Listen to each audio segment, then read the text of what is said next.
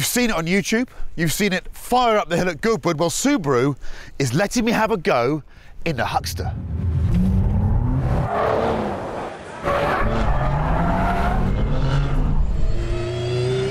So, learning to drive the Huckster. I've got 850 horsepower, very narrow circuit. I just touched the brakes and the wings flew up. I can't believe how responsive the engine is, given it's got a big turbocharger. It's remarkable. It doesn't sound like a flat four either. Steering is very light, very direct. Just feels like it was built for a purpose. Let's put this ALS on.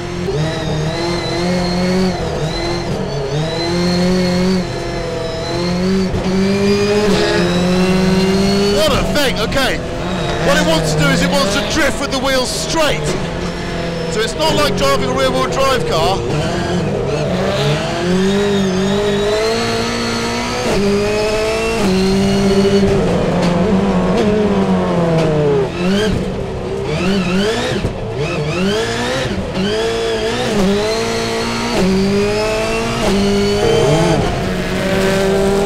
Very interesting. It's going to take a bit of time to get my head around it.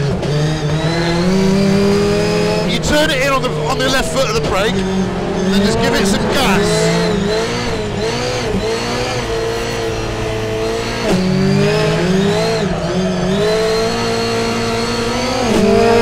Travis is so tall, I'm not really in the seat.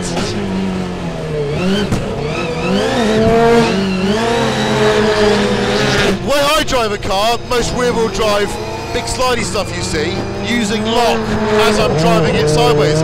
This car wants to get to an angle, front wheels want to be straight. It's sort of signature Ken Block style, really, isn't it? But it's not really the way I drive. It's just done a set of rears in three laps of Lydden Hill, which is, I think, probably a mile long. Can I key off for a minute? Is that all right? We'd like to ask for a moment of your time.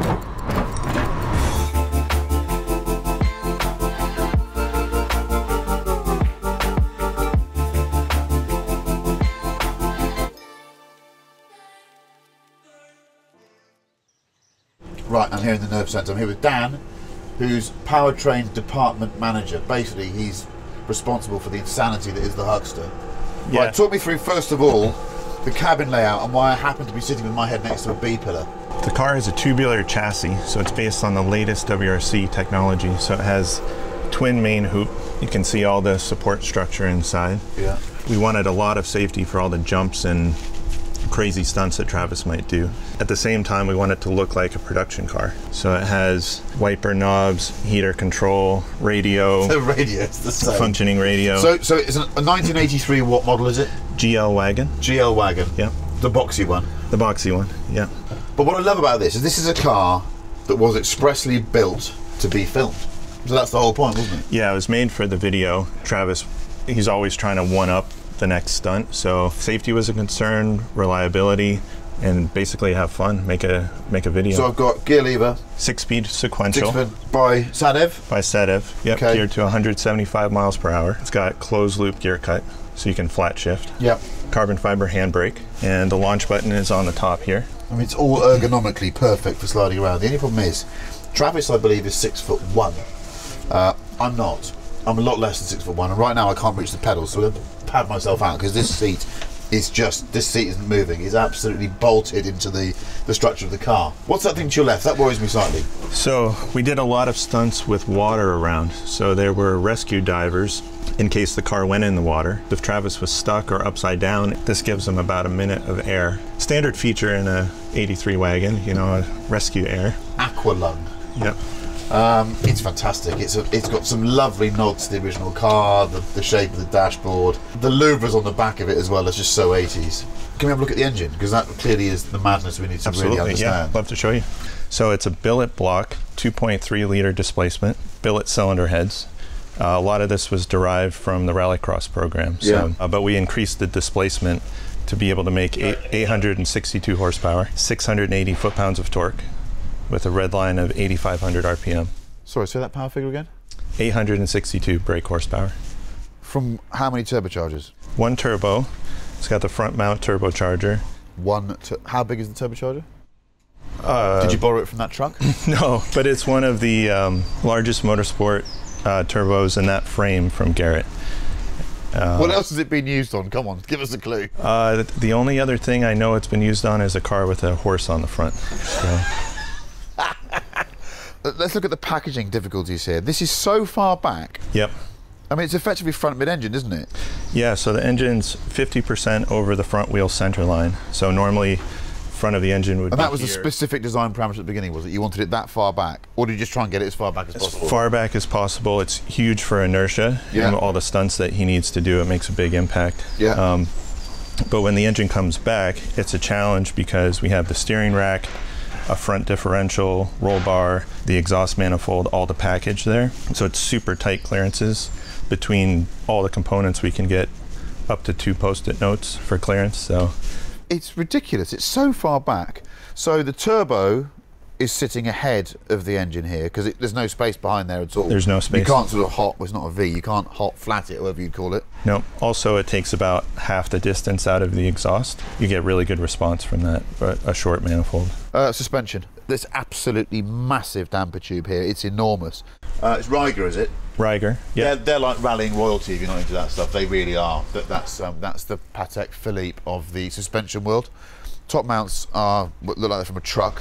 Yeah, it's based off the Rallycross program, but with these crazy stunts, we never know if he's going to land on one wheel or Have you on the bent back. any of so doing the stunts? no, we haven't. It's been Really? super robust. Yeah. And did you go out and, and, and have to test it a lot, or did you just finish it and just go out and film? Because Ken was famous for that. Ken would finish a car, Yeah. and then he'd, the next day be filming it. I'd be thinking, well, you, you've tested this for months. He'd go, I only drove it for the first time yesterday. We did a lot of testing, so uh, we knew we needed to clear a certain distance for this crazy jump to Yeah. jump over the helicopter. We also went to a NASCAR track to do the top speed, but we could only hit 140 miles per hour on the track because we ran out of distance. Yeah. in the actual filming when he's with the jet he hit 169 miles per hour drag racing the jet the aero is definitely effective a lot of people wonder about the air brakes and, Do and they the work? Wing they were studied in cfd and they work and we choose when to turn them on and off depending on the stunt that's needed So it's massively stiff. It's got immense suspension. It likes to fly. It's got over 850 horsepower. Um, I'll give it a go, okay but it's going to take me some time. Also, I've got to try and reach the pedals. Uh, this could be one of the most unimpressive driving performances you've ever seen. So usually we'll do an out lap, like a cruising lap in cal one, in position one, and then when you want to go hot, go to two, and then after you're done, you go back to one. We want a little bit of a cool down to get everything Okay. back down. Yep. Feel good? Yep. Okay. Right, I've now got to think about whether I can actually enjoy driving this thing. I found the first bit lovely, but now it's moving around quite a lot, and my technique apparently. I should be on the bar more, making all four wheels spin. The old crowd pleaser here. Wonder what that does. Let's give it a yank. Oh yeah, that's quite active. The setup of the car is for Goodwood, so it turns in really nicely. It's not. I'm in a drift car that's sort of wanted to be a track car. That's my excuse for when I can't drive it like the main man. But if you try and drive it straight, it's actually really quite pleasant.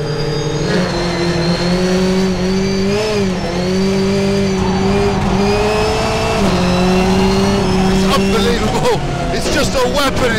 It's a bit of a struggle to actually talk while I'm driving it.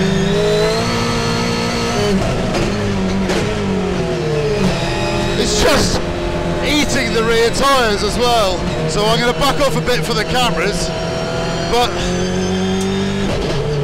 basically, when the rear tyres are with me, it's lovely. But when they start to go, it becomes a real handful.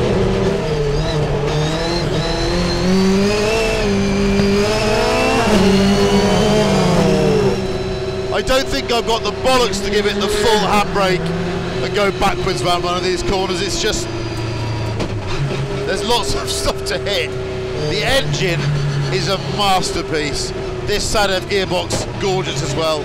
Something about a lever. I love a lever.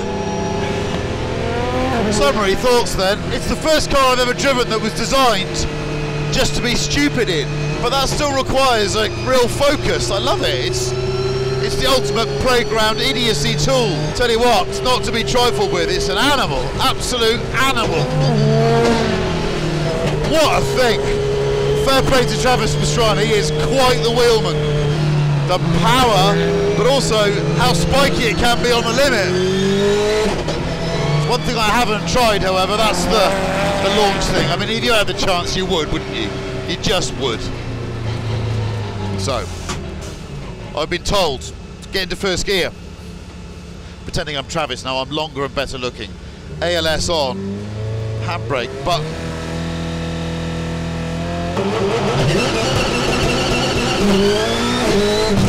Wow, what an adrenaline rush, all that power. But I just love a vehicle that's been made for a singular purpose. Normally it's for comfort, normally it's for speed or endurance. This has been made for someone to behave like an absolute dick, and I love that.